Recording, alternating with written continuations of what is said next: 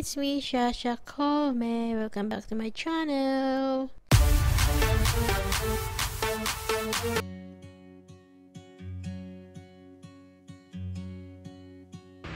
Hi guys! Good morning! Magandang araw sa inyong lahat. At ngayon, meron na naman akong bagong vlog. At kung ikaw ay napadaan dito nga pala sa aking tahanan, uh, huwag mo kalimutan mag-subscribe at pindutin mo lang yung red button para lagi kang nanonotify sa aking mga bagong videos. So ngayon guys, ako ay gustong kumain ng bilo-bilo pero susubukan ko magluto nun. At gusto ko yung maraming shredded coconut na sa aking bilo-bilo at try kong magluto ngayon kung paano ko gawin yan. So, ipapakita ko muna sa inyo yung mga ilang ingredients ko dito sa aking kusina.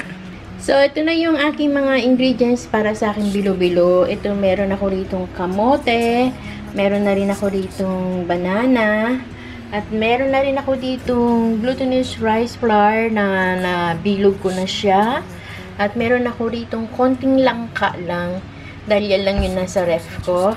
At meron ako ditong uh, coconut cream. Yung iba ginagamit lang coconut milk, pero gusto ko yung coconut cream.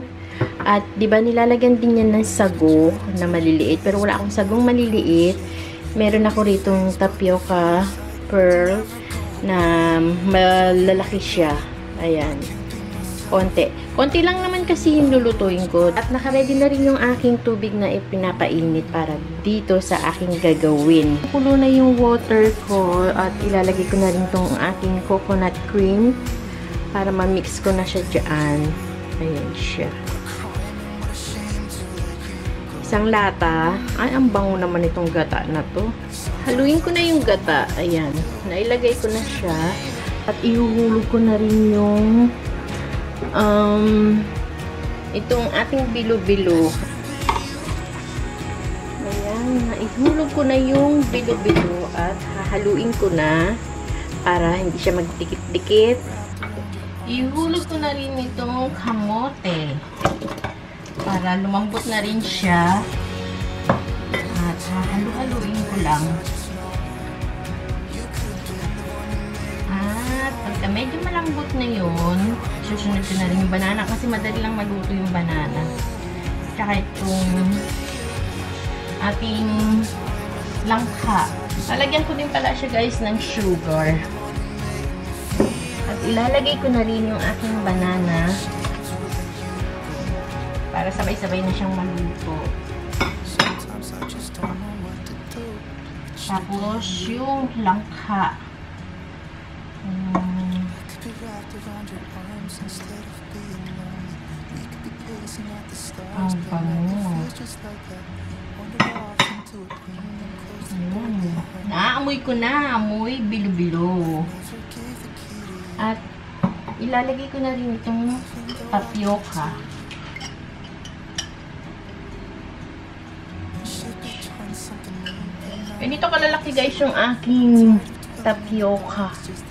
Dahil wala ako nung maliliit. So, yan ang ilalagay.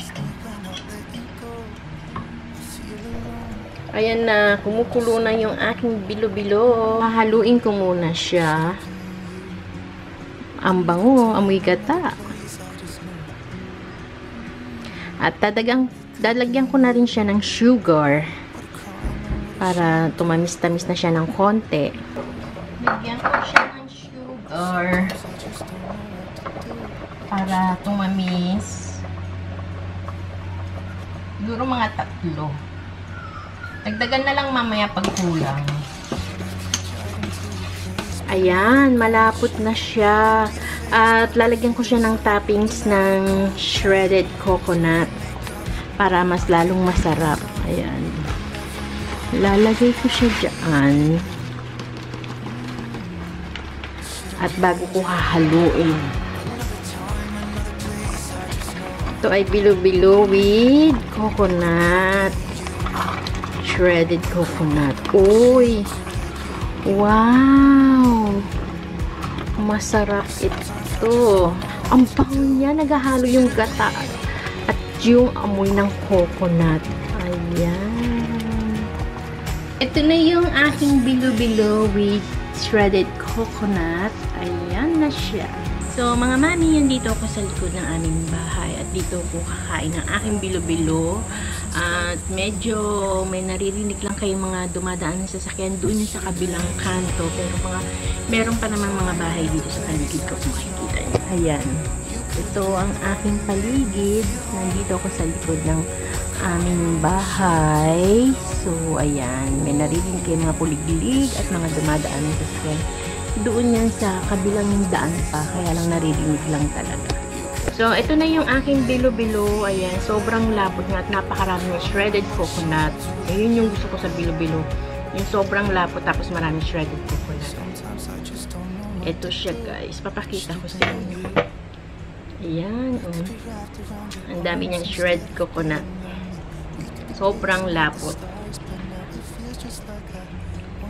Mmm, ang sarap. Paborito ko rin to eh. Mahilig ako sa mga ganito. Maingay yung aking kapitbahay na inchik. Kung naririnig ko yung...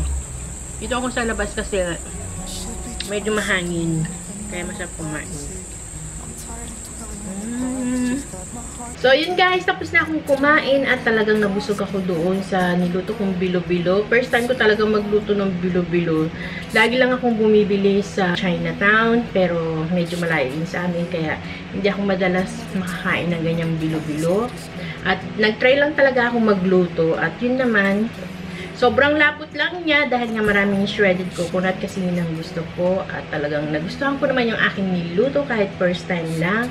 At maraming salamat sa panonood. At see you next time on my next vlog. Bye! Thank you for watching guys. See you next time. Bye!